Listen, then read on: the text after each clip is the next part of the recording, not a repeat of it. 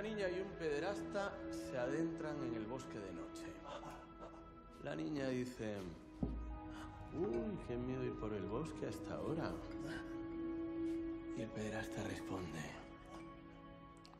pues imagínate yo que tengo que volver solo a casa. Y ya estoy yo con, con los dos actores protagonistas de la película que se estrenará el próximo día 27 en todos los cines. Lobo Feroz, probablemente ya les conozcan porque eh, bueno, son dos actores que ya tienen muchísimo bagaje y, y, bueno, sus nombres ya lo dicen todo. Estoy con Adriana Ugarte Hola, encantada.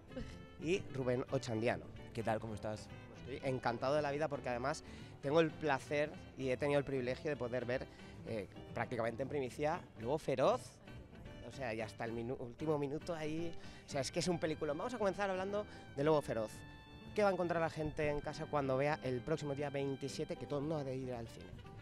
Pues va a encontrar una peli, un thriller de corte clásico, pero que creo que afortunadamente aúna muchos géneros, lo cual le da una riqueza especial y que tiene el atractivo de tenerte pegado a la butaca de hasta el final, ¿no? Y llevarte a casa, yo creo, con todavía hasta con dudas, ¿no? Eh, sí, sí. yo- que la he terminado, te quedas. bueno, lo hemos visto el cámara y yo y hemos dicho. Bueno, no vamos a desvelar, ¿no? Claro. Bueno, importante esto que, que decíamos, es solo en cines el estreno. Solo en cines el 27 de enero. Sí, eh, pa- para nosotros esto era lo más importante, que, que hasta el final, final, final, eh, la cosa no se resuelva. Así que es importante decir que vayan a verla y que no cuenten el final. No, no, no lo vamos a contar porque además, bueno, se puede contar con quien vayas a verla porque ahora da opción a tener teorías. ¿Cómo habrá pasado? ¿Y qué, y qué habrá...? No, no voy a tirar de la lengua. Una, bueno, una obra maestra ¿no? de, de- Gustavo Hernández que además eh, tiene un pedazo de reparto.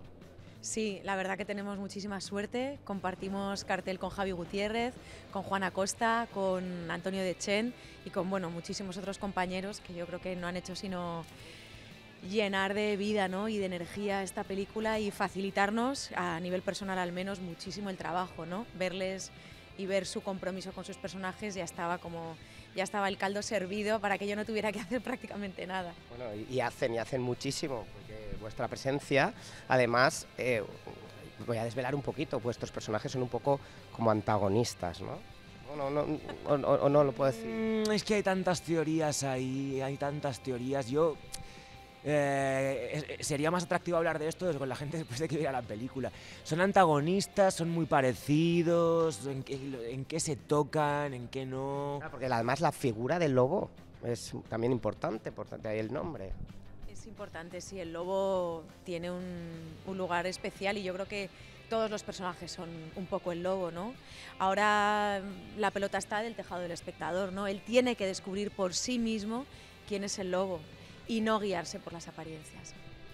Es verdad, es una película en la que nada es lo que parece.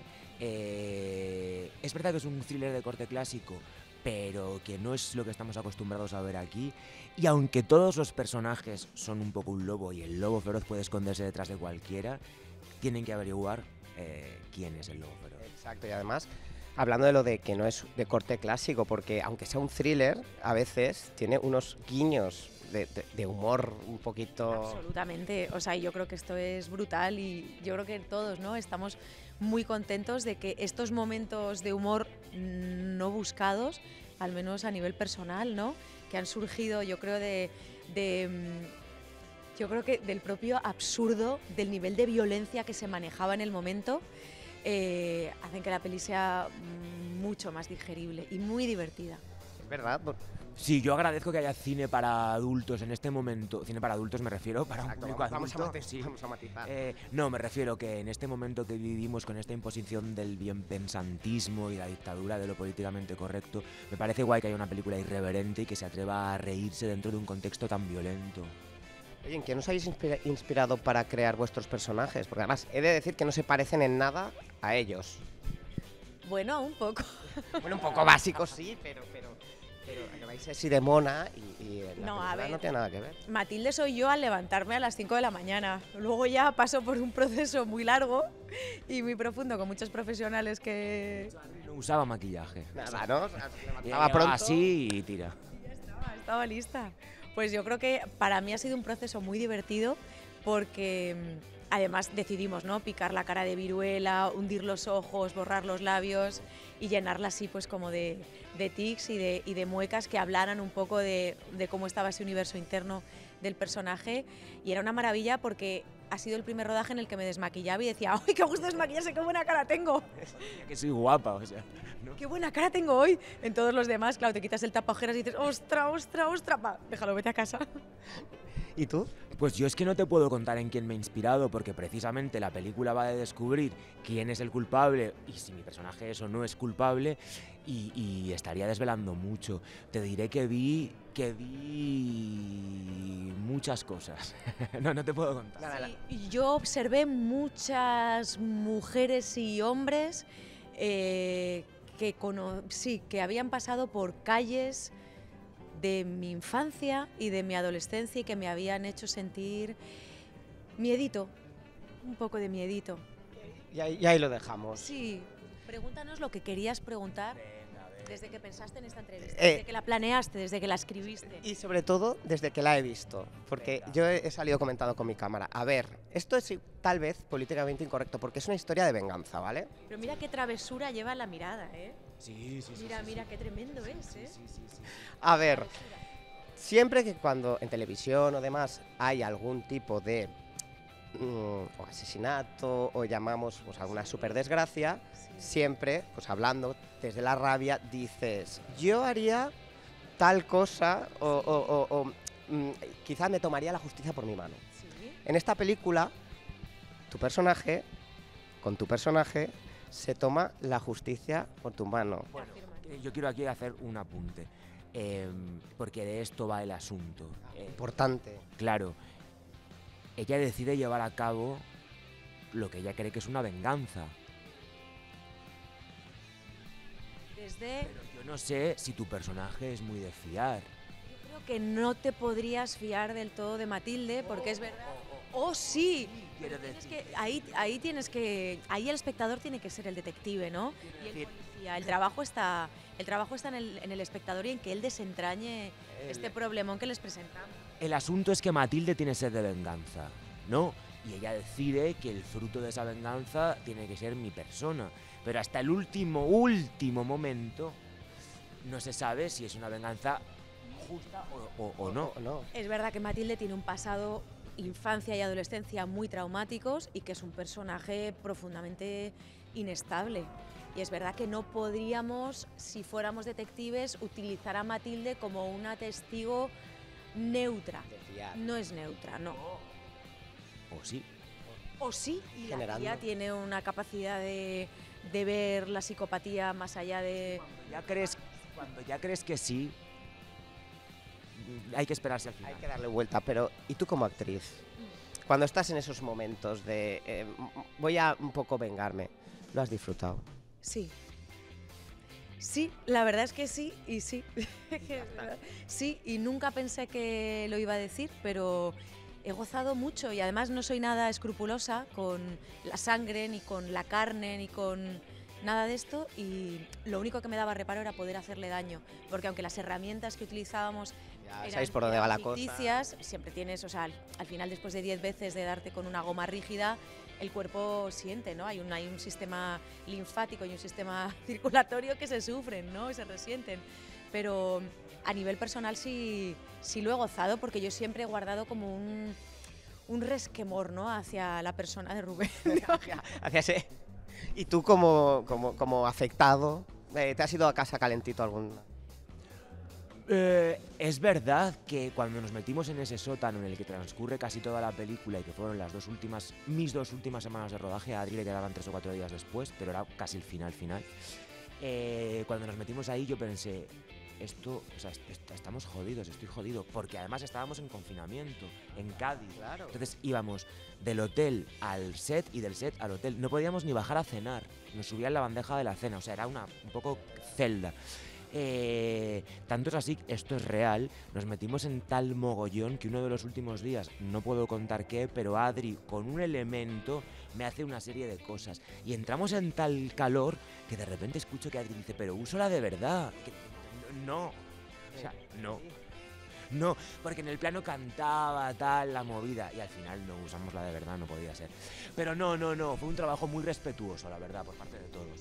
Y, y alguna anécdota así que se pueda Me contar. había olvidado de esto. Acabo de acordar. Se me había olvidado por, porque hubo un comentario por parte de arte y por parte de dirección de pero, pero estoy notando cosas, estoy. Y dije, uso la de. Estamos tan calientes, es verdad, de, uso la de verdad, pero con muchísima precaución, Rubén. ¿Que no? ¿Qué dices? Sea, que tu integridad... Imposible, no, no, claro. Es que era, tú has visto la película, ese no podemos decir, pero era un momento en el que no se podía usar de verdad. Pero Tanto es así que, que, eh, al final del rodaje, el ayudante de dirección, vino el ayudante de dirección y el productor y me dijeron, te hemos regalado un día de spa, eh, porque es Te verdad... acabas de enterar. Ah, no Sí. ¿Y a ti no? No. Eh, pero aquí quién pilla. Bueno, pero es verdad. Bueno, No, tú no sabes lo que era estar esas dos semanas primero sentado en esa silla de tortura. Yo no quiero contar. Madera, cor- con correas en muñecas y en- y ahí no había trampa ni cartón, descalzo, con un frío y un dolor de, de culete, ¿verdad? Ah, no, es en fin, o sea, que yo era un circo amordazado. No, señores, no es fácil. no, no es fácil, pero bueno, también he de decir que tú alguna carrera que otra por el monte te has pegado, que yo eh, me faltaba el aire de verte. Sí, sí, además ella tiene ciertas dificultades para correr. O sea, tiene una cosa de coordinación de tren superior y tren, y tren inferior un poco curiosa. Entonces le cuesta. O sea, la bajadita Matilde va como va aprendiendo a andar. ella. Ahí, a vuestro arte. 2023. ¿Tenéis proyectos a la vista? Tenemos, tengo un rodaje a principios de febrero en República Dominicana, Uruguay y Madrid. Así que muy, muy contenta, muy agradecida. Rubén. Pues yo estreno una película que he rodado en República Dominicana. Oye, mira, al Las vías final se cruzan, todo. Estreno el 2 de junio una peli que se llama Y todos arderán, que por fin estrenamos y está muy guay. Estreno en otoño Zumeca, que es esta peli dominicana que es maravillosa y voy a dirigir dos cosas de las que no puedo hablar. Pues ahí queda. Adriana, una última um, pregunta, de verdad. Un- Uno de tus personajes que yo creo que ha marcado muchísima gente, Sira Quiroga. Ya salió la novela segunda parte. Yo no sé si a lo mejor vuelves a interpretarla. Pues es Depende. que no depende, no, no depende de mí, pero no sé si estaban pensando ya en, en hacer guiones de la segunda novela. Es una posibilidad, pero de verdad que a mí no, no me ha llegado nada. A veces lo pienso y digo, ostras, si hicieran guiones, molaría. Además, sí conozco la segunda novela y es verdad que si se rodara sería en, en distintos países. O sea, sería un rodaje gordo y complicadillo y, y chulo, pero no sé nada. Y también me da miedo, ¿eh? porque la primera parte funciona tan bien que digo, ¿y si lo dejamos como está? ¿no? Bueno, Pero pues, nunca se sabe. nunca se Ahí a fluir. Una última de verdad. Eh, hace poco, la semana pasada, Carlos, eh, Carlos Areces, el actor, hacía unas declaraciones que lo que a él como actor más le molestaba es que en el cine, Espectador. exacto, como espectador, pero bueno, él también es actor, Sí, pero las declaraciones las hacía como espectador. como espectador, que es las personas que van al cine, entiendo que también molestará si quien haga teatro, y estar eh, esas personas que una hora y media no pueden dejar el teléfono móvil. Y él literalmente decía que las odiaba. ¿Estáis de acuerdo o no? o no? Bueno, es muy desagradable y cuando yo no he hecho mucho teatro, la verdad, he hecho muy poquito, muy poquito, pero cuando he estado en escena y, y he sentido una lucecilla por ahí delante, se te cae el mundo a los pies. Total, es una hora y media. Adri es más zen. Yo subí el vídeo de Carlos Areces, me ocupé de descargarlo de Twitter para subirlo a mis stories de Instagram, porque yo que soy más japo-germánico, eh, suscribo esas palabras. O sea, soy de los que me levanto, me acerco a la persona y le digo, ¿puedes apagar el teléfono, por favor? Y se queda a gusto. La manera de poner límites es muy franca, muy buena. Sí, sí, yo la verdad que a mí mi, mi educación británica me... me- me ha- To- todo lo has descargado en, en Lobo Feroz. O sea, todo lo que no eres, ¿no? Sí, todo lo saco por las noches, claro. Pues eh, chicos, muchísimas gracias. Vamos a recordarles a todos los espectadores. Próximo día 27, bueno, dilo tú. Próximo 27 de enero en todos los cines vais a poder ver Lobo feroz. Ir a verla, ir a verla.